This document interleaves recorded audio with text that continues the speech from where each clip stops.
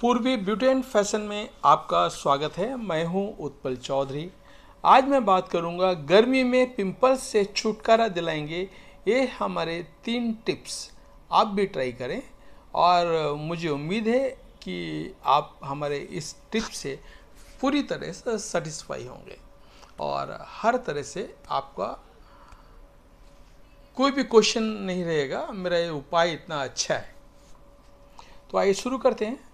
गर्मी के मौसम का बुरा असर स्किन और बालों पर पड़ता है। त्वचा मुरझाई हुई नज़र आने लगती है। ज़्यादा पसीना आने के कारण त्वचा इन्फेक्शन का शिकार हो जाती है। इन्फेक्शन के कारण त्वचा में पिंपल्स नज़र आने लगते हैं। ऐसा नहीं है कि केवल बड़ों में ही ये समस्या होती है। छोटे बच्चों को भी गर्मी के दिनों में पिंपल्स परेशान कर सकते हैं।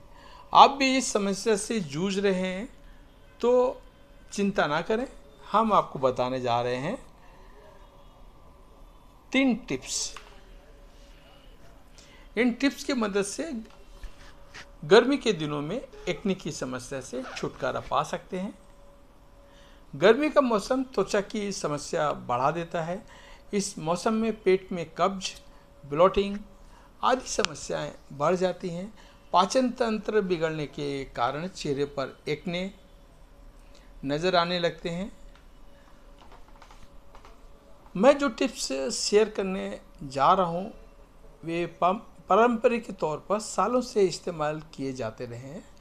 तो चलिए, देर कैसी जानते हैं पिंपल्स का इलाज करने का घरेलू टिप्स। तो पहला है, सौफ का शरबत गर्मी के दिनों में पिंपल्स से बचने के लिए आप सौफ के शरबत का सेवन करना चाहिए। सौफ का शरबत पीने से ओरल हाइजीन बेहतर होता है। पाचन तंत्र को मज़बूत बनाने में मदद मिलती है।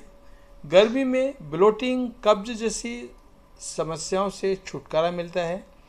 खाने को पचाने के लिए ज़्यादातर रेस्तरा में खाने के बाद सौफ खाने के लिए दिया जाता है।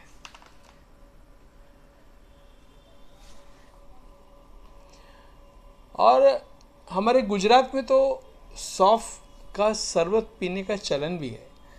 वहाँ तापमान ज़्यादा होता है, ऐसे में शरीर को ठंडा रखने के लिए बाहर से आए लोगों को सौफ का शरबत पिलाया जाता है।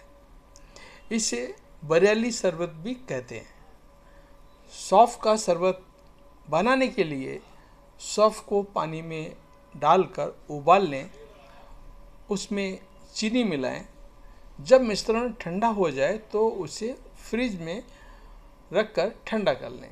शरबत तैयार है, इसे रोज़ एक गिलास आप पी सकते हैं या आपके फैमिली मेंबर को आप पिला सकते हैं या फैमिली फ्रेंड में पिला सकते हैं।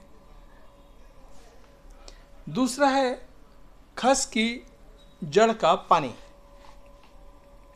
खस को बेटीवर नाम से भी जाना जाता है। ये एक खुशबू घास का गुच्छा होता है। आपने पुराने कूलर में खस को देखा होगा, जो जालियों में लगा रहता था। अभी तो सब जगह एसी लग गए हैं, अभी तो ज़रूरत नहीं है। पहले ऐसा गाँव में लगता था वाटर कूलर में, अपना कूलर में, जो घर के अंदर लगते थे। इससे बने पर्दों का इस्तेमाल घरों में ठंडी हवा के लिए किया जाता है। पिंपल्स की समस्या को दूर करने में, उससे बचने के लिए खस की जड़ का पानी पीना चाहिए। खस की दो तीन जड़ लें और उसे पानी की बोतल में मिला दें। तीन घंटे के लिए खस को पानी में रहने दें। फिर उस पानी का सेवन कर सकते हैं। आप खस को पानी में तीन दिन तक रख सकते हैं। तीन दिन बाद खस को धूप में सुखाकर एक बार और इस्तेमाल करें, इसके बाद अगली बार ताज़ा खस का ही प्रयोग करें। बचे हुए खस को फेंके नहीं, उसे त्वचा पर, स्क्रब के तौर पर इस्तेमाल कर सकते हैं। जिन लोगों को बैक, एक्ने या फिर पूरे शरीर पर दानों की समस्या होती है, उन्हें खस को स्क्रब की तरह, स्क्रब के रूप में इस्तेमाल करना चाहिए। हमारा अगला आइडिया है चंदन के पानी से स्नान करें।